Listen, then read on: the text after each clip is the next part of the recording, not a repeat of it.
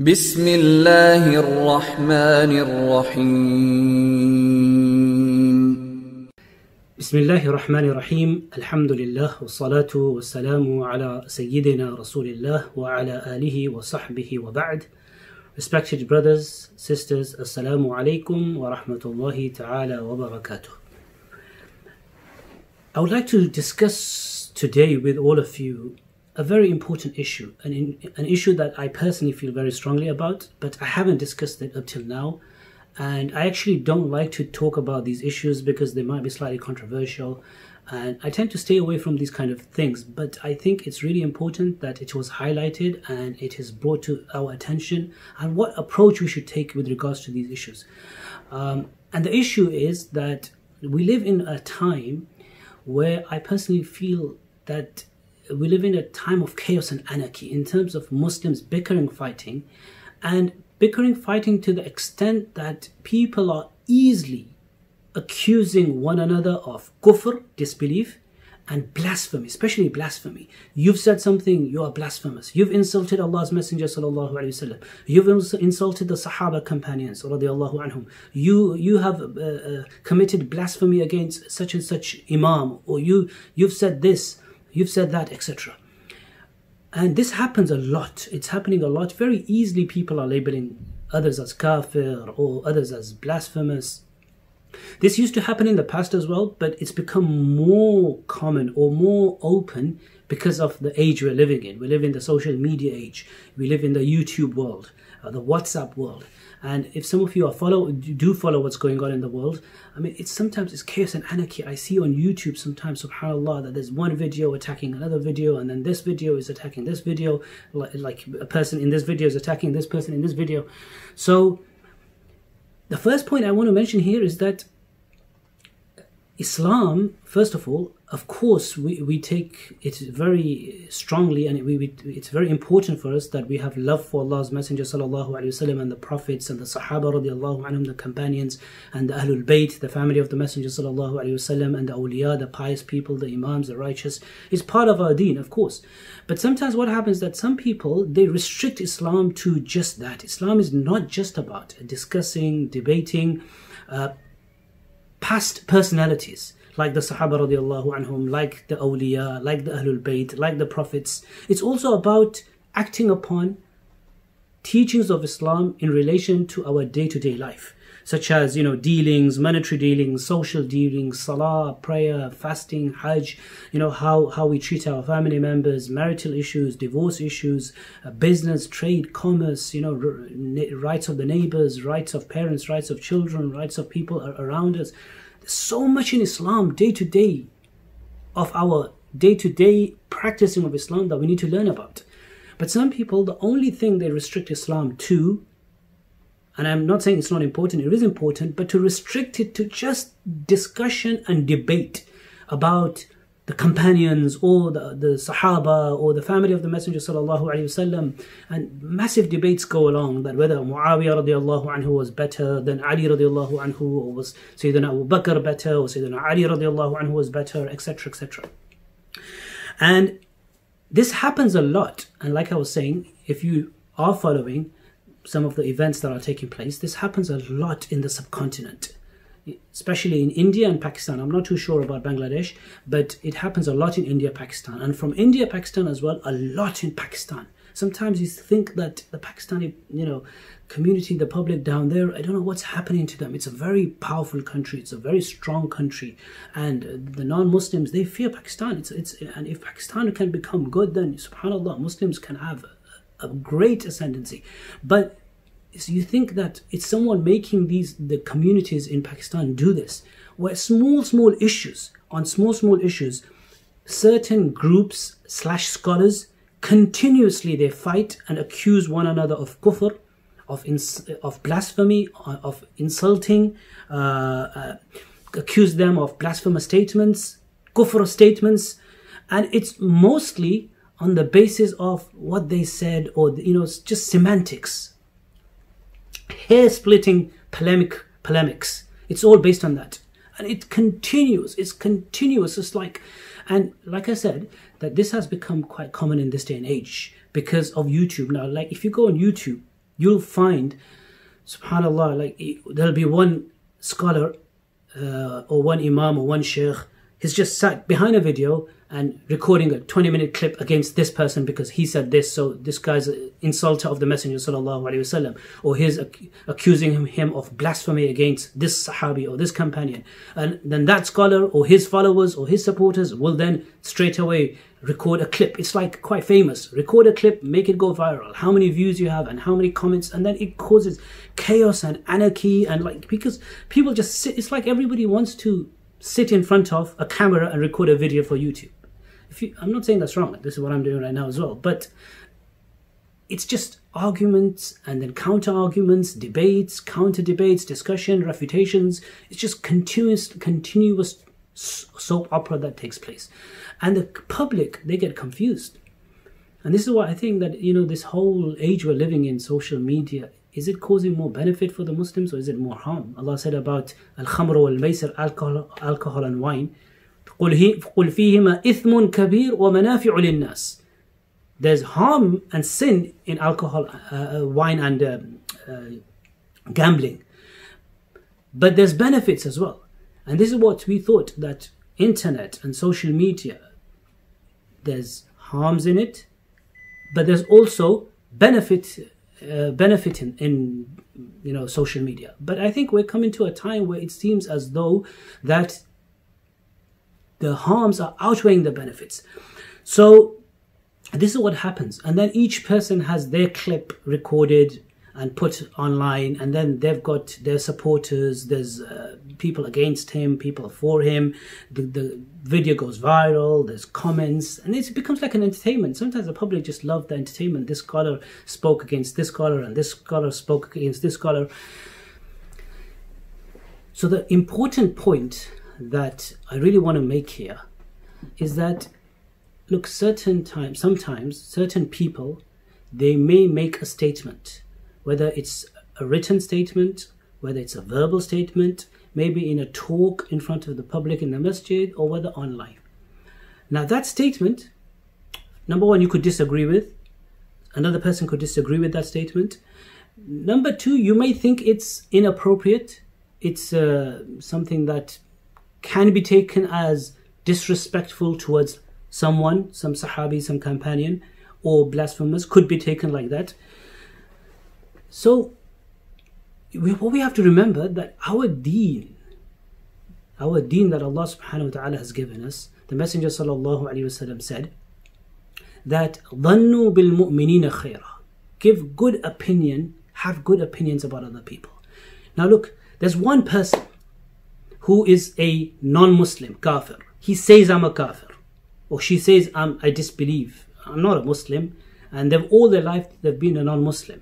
You know, and they suddenly said, tweeted or wrote or uttered something which is blasphemous against Muslims or against the Prophet of Islam, then of course, you know, they themselves they have a whole history, a life of what? Of disbelief and they clearly say we're not muslims we don't like the muslims or you know they clearly make a statement which is a statement of disbelief that person is different to another person who looks like a muslim dresses like a muslim is always a muslim prays five times a day you know especially if it's a scholar an alim a sheikh all their life wrote 200 books is, is serving the deen serving the community sacrificing. You know, I, I actually tweeted about this that it's, you know, why would anyone, especially scholars who spend their whole lives serving the deen, deliberately make statements of kufr or blasphemy? Do we think that they were just pretending to be Muslims this whole time? It's like, you know, were they just munafiq hiding that for, for 60 years or 50 years of their life, teaching, studying, being an imam, being a Muslim. So they really inside, they were just, you know, really they hated Islam and they, were, they, they deliberately committed disbelief or blasphemy. Whole, you have to look at someone's entire life, their track record. Like, take this person, you have to, what they've said, the statement they've written or they've said, has to be understood in light of their whole entire life. And then you think that this could be a slip of a tongue. Sometimes people make statements, it's a split, split, uh, sli, uh, slip of a tongue. It could be said in a better way, you could think. And, uh, and this is why we have this principle in Sharia, uh, in Deen, which many Imams, many Imams have said this, and it's commonly sort of accepted. Imam Ibn Abidin, rahimahullah ta'ala, the great Hanafi jurist, has made this statement as well in his books, and many others have said this that when someone makes a statement, and there are 99, 99 ways of interpreting and understanding that statement to be a statement of disbelief. So you read it once and you think, okay, this looks like disbelief. You read it the second time, the third time, 99 times, it comes across as a statement of disbelief. However, there's one way in one time, one reading of that statement. It comes across as a statement of Islam, then you will abstain from accusing that person of disbelief because you're giving benefit of the doubt we're giving benefit of the doubt why are we giving benefit of the doubt because that person's entire life track record history life is a life of islam and that person is not just going to deliberately first of all you know we're not here to judge anyway who's a muslim and who's not a muslim but if if there's a need then before saying anything you go to that person that look what i've understood from your statement is like this this kufr or this uh, blasphemy. Is that what you really mean? He'll clarify, end of story. But what's happening today is that the person himself says, I don't mean this. He'll probably give a clarification video. Or you go and ask him and says, No, no, no, that's not what I meant. I don't know if you took it that way. Simple. Just end of matter, end of story. Nobody wants to talk to the person. And straight away they want to sit behind a video, YouTube, Yes, today I am coming with a statement. Such and such Shaykh and Imam, he said this in his talk. He's committed blasphemy. Don't you, can't you, you know, think of what to say? Uh, are you committing kufr and disbelief or blasphemy against the Sahaba, the companions? You know, who are you? You know, you have no knowledge, and then it becomes personal, and then, you know, it's crazy. It's, it's really crazy, and I feel very strongly about this. Um, I'll give you, look, an a couple of examples. Before I give you the couple of examples, in that you know, when the person himself is saying that, I don't mean it in the way that you've understood. He probably never even thought of that. Sometimes by mistake, a slip of a tongue could have taken place. You know, when you're talking, giving a lecture, right now I'm talking, there's so many things in your brain, and you know, you might just say something. Actually, in the hadith, the Messenger وسلم, mentioned, uh, you know, the famous hadith in Sahih al Bukhari, where he said that Allah is more, far happier than a person. When, when a person makes tawbah, Allah is far happier than someone who was in the desert with his camel and his camel got lost. And he looked for his camel and then he completely lost all hope and he went to a tree just to have a shade, etc. And lost all hope, meaning that's it, I'm going to die because I can't move from here and I'm thirsty. And suddenly he sees his camel and he becomes so happy and he grabs the camel. And out of the happiness he says, Allahumma anta abdi wa ana rabbuk. Oh Allah, you are my slave and I am your Lord. The Messenger وسلم, you know, said it in a, in a positive way that this is how happy he became. So it shows that in happiness you could even say, oh Allah, I'm your Lord. But then if someone said, oh, wake up, wake up. Yeah, I know you're happy right now. Do you mean that you're, you're the Lord and Allah's slave? Oh, is that what I said? Okay, no problem. But today what would happen? Straight away, YouTube video. That man with the camel is a kafir. He said that Allah is his slave and he is Allah's Lord. Go against him. And then what will happen? The, the followers of this person who made the YouTube video will say, Yes, he, tell him to make tawbah, repent, make a repentance in front of the public because you said it in front of the public. Go crazy behind him. If you find him at the airport, beat him up. Because then the public don't have the brain. You know, that those, those scholars or those people in authority, they sit in their rooms and make the videos, and then the public, they get rage, and then, you know, they go and attack. And uh, it, it, this, this, I'll give you a couple of examples for this. Um, uh, you know, many many years ago, or two three years ago, the incident that that happened with Junaid Jamshed, the famous ex singer. Then he stopped singing, and um, then he turned to Islam, and then he, he became martyred. You know, he passed away. Rahimahullah, may Allah have mercy on him. Even at that time, I was thinking about this, but I didn't say anything. And you know, he during his talks, oh sorry, during one one of his talk. Uh, he said he was talking about Sayyida Aisha Sadiqa radiallahu ta'ala anha. the wife of the Messenger sallallahu alaihi wasallam. You can see it. In, it's in Urdu. It's on YouTube. And she said something like this.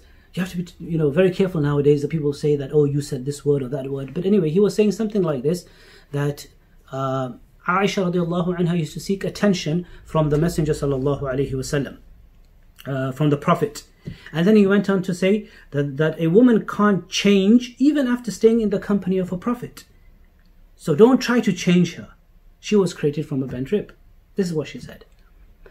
And straight away, there's like hundreds of people, they want their limelight, you know, everyone wants to be famous. Uh, YouTube videos, tell him to make Toba, he's uh, committing blasphemy against Aisha radiallahu anha, the mother of the believers, and all over Pakistan. And then, you know, he was actually traveling somewhere and some people tried to attack him and, you know, they physically attack him, some bandits, you know, and they thought they were doing something right. And people, and he actually then had to come and he was crying and release another video to make tawbah. And I actually feel that he didn't even need to do that. Because if you look at the statement, okay, someone can say to him, the best way to deal with this would have been some sheikh, someone who, you know, if someone sees this, approach a great sheikh that he respects, that look, he's a public figure, uh, you know, maybe he doesn't have that much knowledge of Islam and he doesn't really know how to say things. Um, he's so maybe it's not the right way of saying it. So can you just have a word with him? The person will pick up the phone and say, Brother Junaid, uh, how are you? Alhamdulillah, it's all good. You know, that day you gave a talk. Maybe that's not a right way to say it. If you want to say the same thing, say it this way. Oh, okay, I didn't realize that it's. Uh, okay, I shouldn't have said it. Alhamdulillah, end of story, khalas, finish. But like he's committing blasphemy and, you know, kufr and make tawbah and retract. Even if you look at what he said, if you look at it, like like I said, you, there's a right way of reading it and there's a wrong way of reading it. There's a positive way of reading it. There's a negative way of reading it. The people with clean hearts and minds, they read it positively. People with you know evil hearts, sometimes they read it. Every, they see wrong in everything. Now, when he said she was seeking attention from the Messenger sallallahu alaihi wasallam, he was mentioning the, the hadith.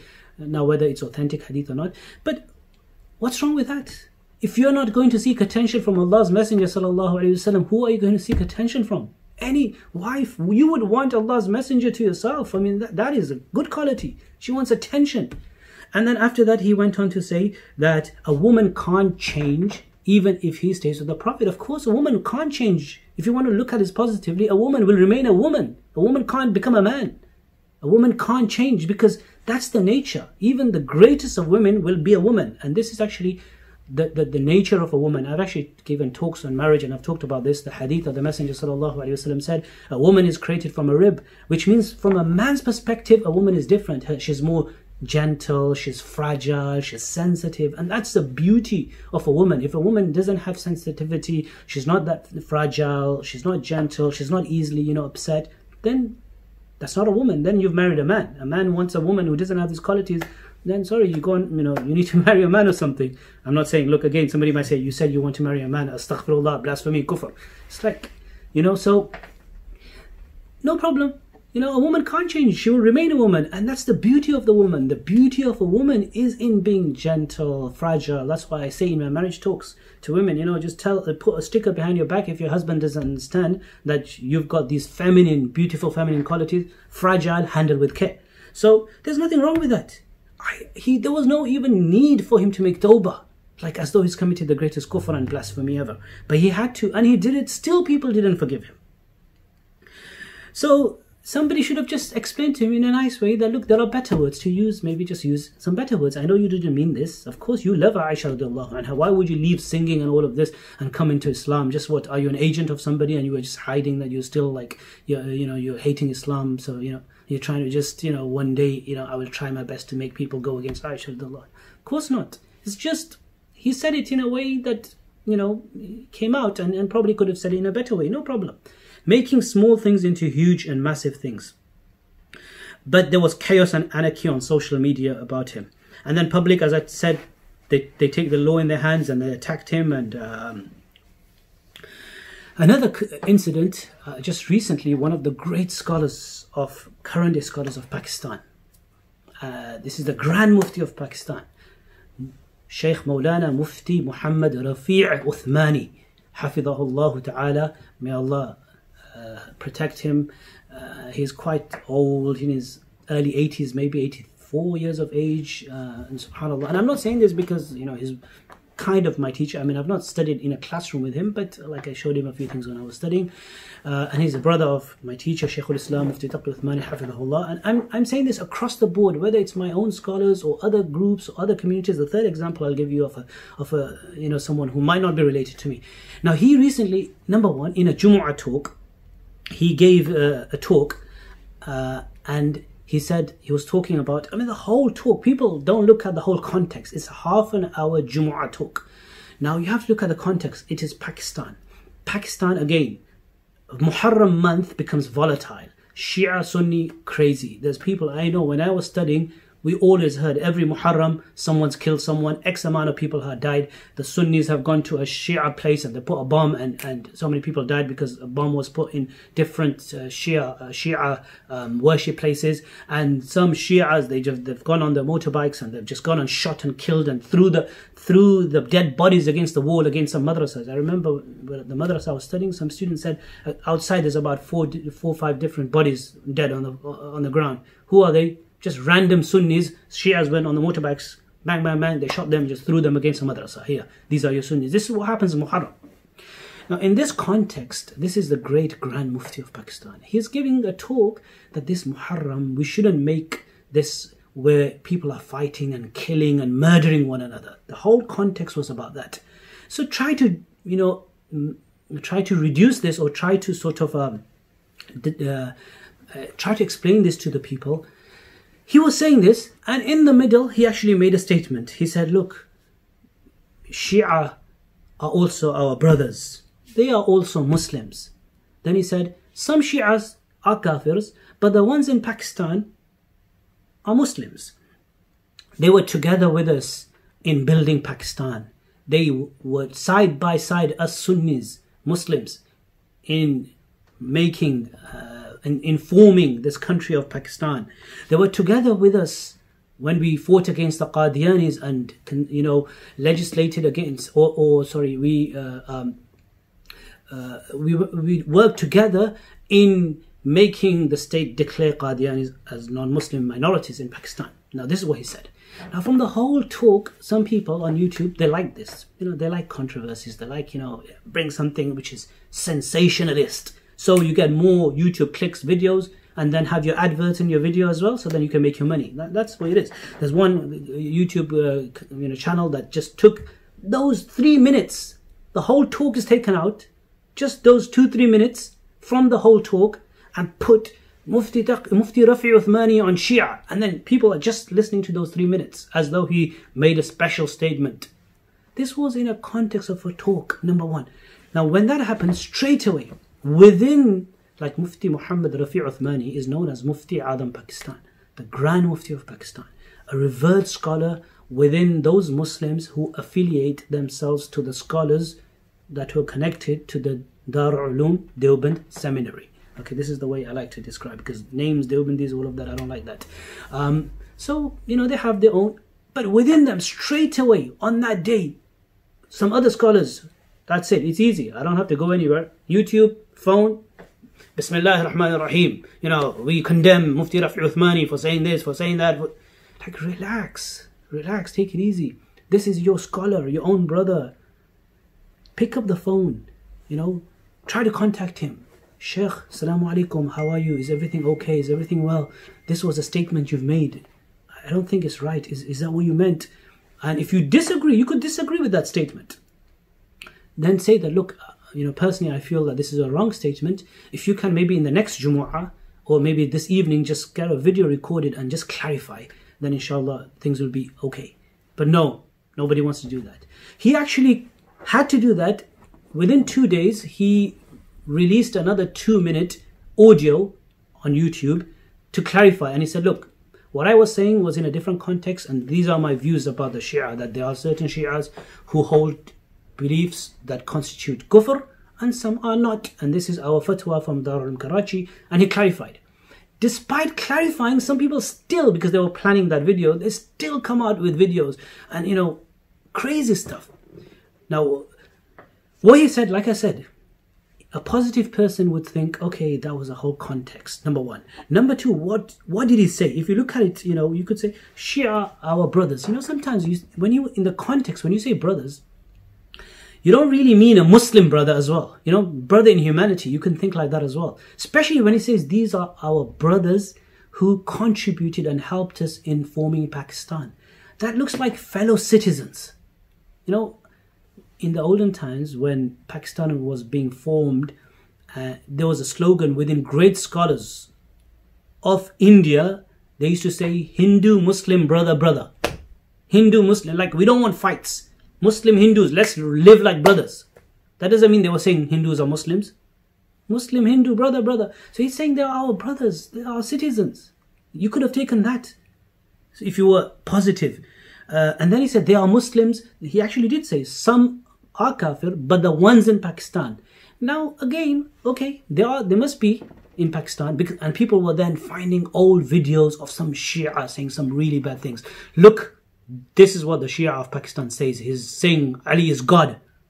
But Mufti Rafi Uthmani is saying that the ones in Pakistan are Muslims. So, okay, he's not talking about every single corner, every single one. Generally, he's saying, and then even that you could disagree with him. You could say, no, Sheikh, 50% I think hold beliefs of kufr. So just discuss it. There's no need to make it like a big, massive issue of controversy and then start accusing him. And then he said, they made Pakistan with us. There's nothing wrong with that. Another scholar, you know, he made a YouTube video straight after that.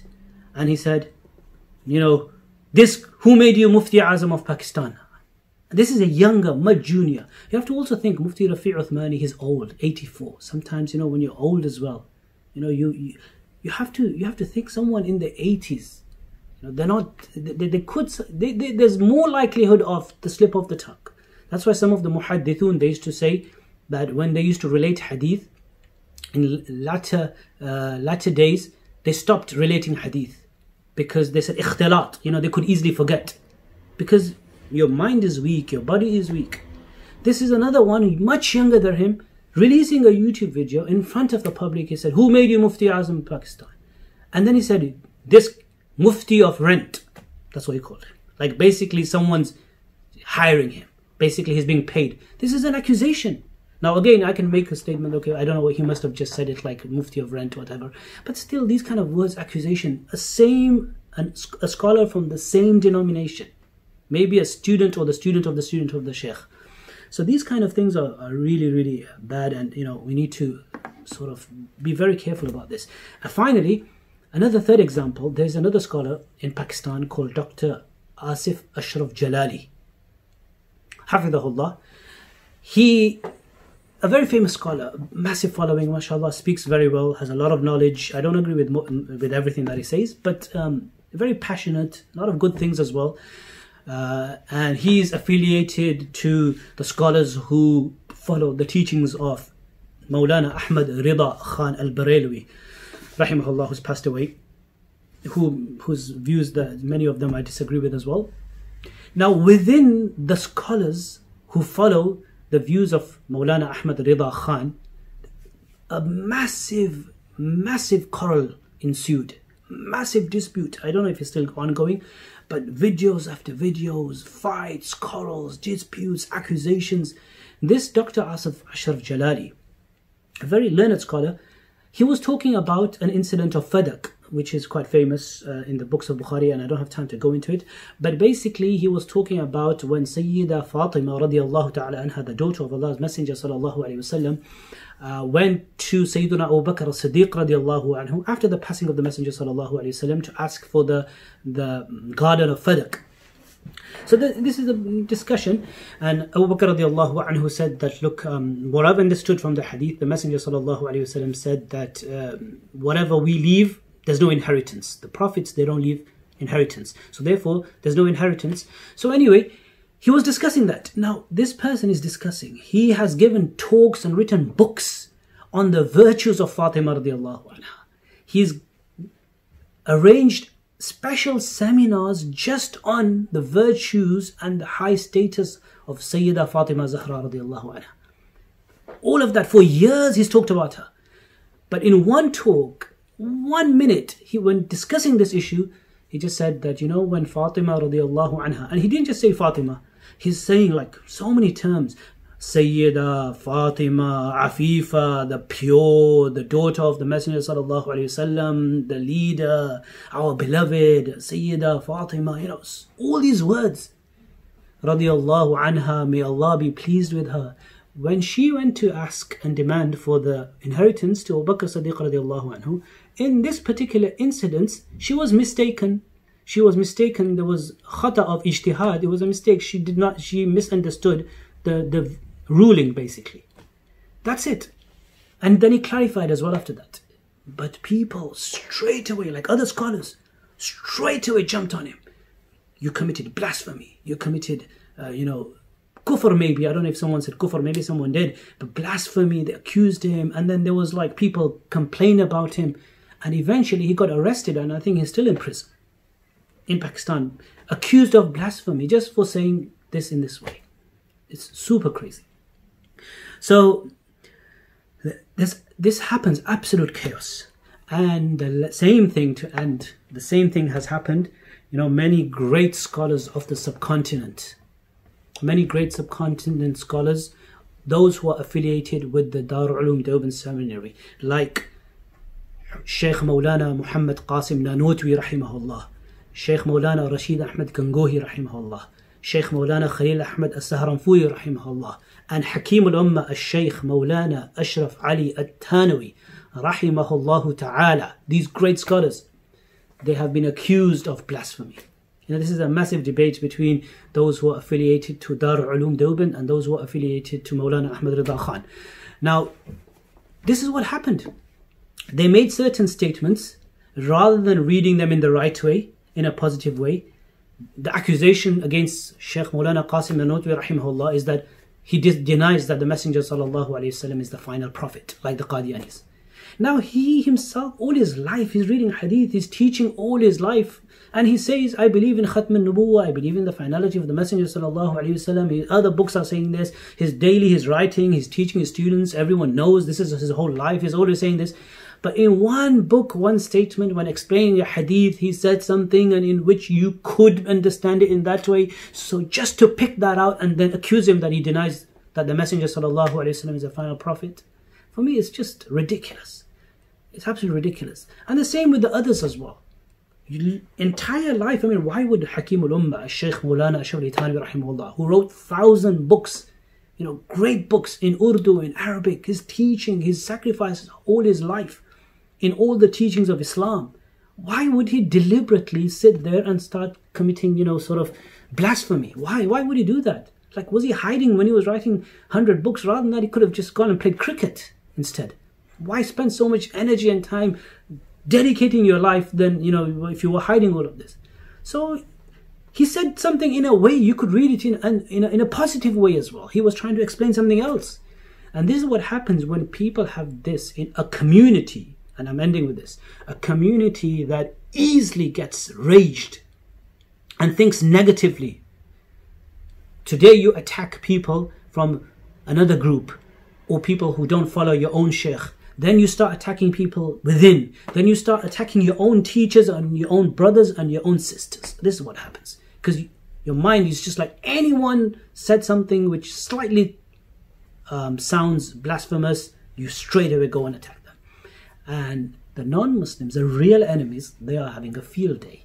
They're saying, yes, Pakistan is a very strong country. Let's make them just fight. Let's create YouTube and social media. You know, before they were in their own mosques, so no one used to fight that much. Now, just make YouTube. Maybe who knows? That could be the reason why it's designed. Let them keep on fighting, fighting. They are this fight about Fatima radiallahu anha constantly for months, fighting, fighting whilst they are busy fighting, what we're doing? We're uprooting Masjid al-Aqsa, we're building something, Israel, whatever. Whatever we want to do, we'll do them. You keep on fighting about, you know, who said what and how he said it and could have used this word or could have used that term and could have done this. Keep on, make them fight. Let them fight and we can get whatever we want to do, get done. This is why my plea to the Muslim community, whether you're in Pakistan and you understand English, or you're in India and you understand English, this happens in India as well, or in the Western countries as well. There are certain scholars sometimes and people connected to ilm just fighting and arguing with one another. There's no problem in disagreeing. That's always happened. Ikhtilaf, that's always happened. Positive ikhtilaf with ilm, nice problem. You can say that, look, this is your view, and is this definitely your view? I disagree with your view, and this is healthy debate. People learn. You know, you, you gain knowledge and you find more about Islam. Positive, healthy, you know, sort of discussion, dialogue, and writing and speaking about things. No problem with that. But attacking and easily accusing other people of blasphemy and kufr because of one statement or one sentence or one verbal utterance this is what I'm cautioning against. May Allah subhanahu wa ta'ala grant me the ability to understand and all of you as well. Jazakumullah ta'ala khairan. Assalamu alaikum wa rahmatullahi wa barakatuh.